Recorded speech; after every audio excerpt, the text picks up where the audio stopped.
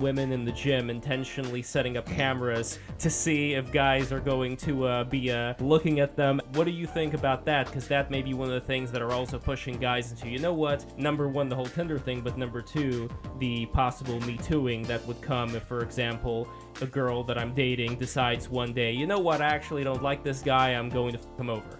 I think those are valid concerns, unfortunately, and I think it's it's pathetic and disgusting that our culture has come to that that, that there's incentive to do that. And that's also a problem of attention economy. Everything's a political campaign, everything's a brand, everything's about getting all eyes on me so that I can put this photo up on whatever social media or so that I can file like a lawsuit and be the talk of, of my school or the town or whatever for a while. I think men and women both have a lot of problems. Systems come to a balance, like things have to self correct at some point, and maybe all of this is a corrective.